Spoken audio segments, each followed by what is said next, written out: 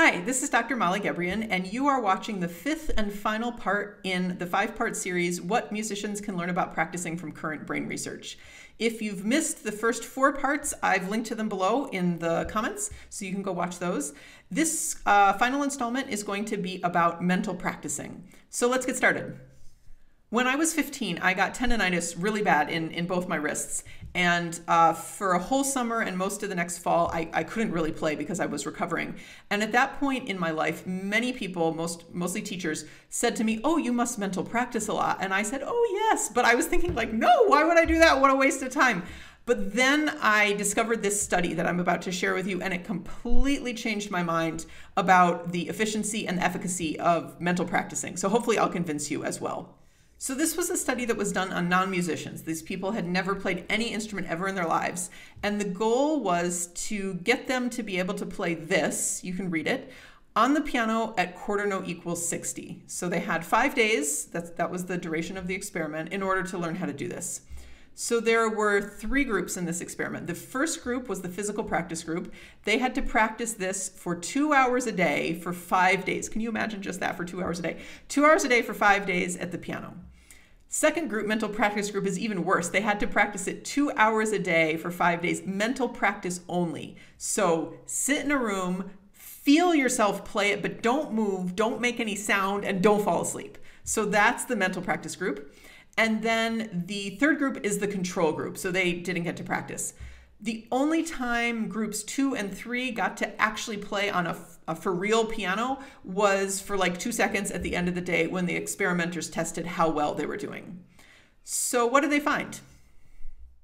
This graph here shows what they found for each of the groups. So, the control group did not get to practice and did not get better. So, if you want to get better, you have to practice. Thank you, science. All right, the physical practice group after five days was perfect. Good, they better be. They practiced that thing for 10 hours. The mental practice group after five days was where the physical practice group was after three days, which is pretty good. Remember, these people have never played any instrument ever, and they're just feeling themselves playing it in their heads without actually doing it. So at the end of the five days, the experimenter said to the mental practicers, okay, go into a practice room with an actual piano, go practice for two hours, and then come back and we'll test you again. And after they'd practiced on an actual piano for two hours, they were also perfect. But this isn't actually what convinced me that I should be doing mental practicing.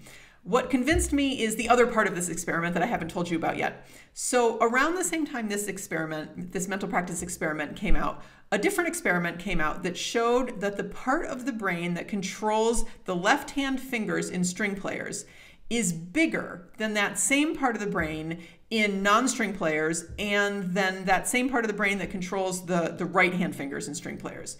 So we now know that any part of the body that you use sort of specifically and intensively the way that string players use their fingers, that part of the brain will that controls it will get bigger. So for pianists that use both hands equally, both parts of the brain that control the fingers get bigger. You may have seen videos on YouTube of people that play piano with their toes. So for those people, the toe area gets bigger. Okay, so given that research, in this mental practice study that we're talking about, the experimenters hypothesized that at the end of the five days, the physical practice people would show a larger part of the brain for the part of the brain that controlled their fingers. So just like we see in string players, they expected that the part of the brain that controls the fingers in this mental practice experiment, that part of the brain would get bigger. So what did they find? they found that the control group who did not practice and did not get better did not show any change in their brain. No surprise there. The physical practice group showed a growth in this area of the brain exactly how they expected. So this graphic you're showing looking at right now, it's a schematic, it's not actually brains obviously. So you can see on day 1 this area is very small. On day 5 it's much bigger. So that's exactly what they thought. This part of the brain got bigger over the course of the experiment. What convinced me that mental practicing was worth doing was in the brains of the people that mental practiced only, they found that the part of the brain that controlled their fingers got bigger to almost the exact same extent as the physical practicers. Think about that for just a minute. These people changed the actual physical structure of their brain just by thinking about it. That's crazy. You can't do that in the world. I can't sit here and be like, you know, this wall behind me, the color's kind of boring. I wish it was purple. And suddenly the wall changes color. I can't sit here and wish that the room I was sitting in was bigger and suddenly the walls push out, right? If I could do that to my physical environment, that would be a superpower but you can change the actual physical structure of your own brain with your own brain. That's amazing. So, how can you use this? Many, many ways. First off, anytime that you can't actually practice, so you're in a train, plane, car, boat, whatever, and you can't practice, you can mental practice. If it's late at night or early in the morning and people are sleeping and you don't want to bother them, you can mental practice. If you're injured, like I was, you can mental practice. I also use mental practicing a lot when I'm actually physically practicing.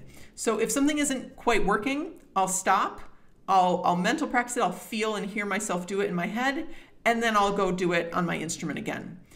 Just to clarify exactly what I mean by mental practice, mental practice means feeling and hearing everything that you have to be aware of when you actually play.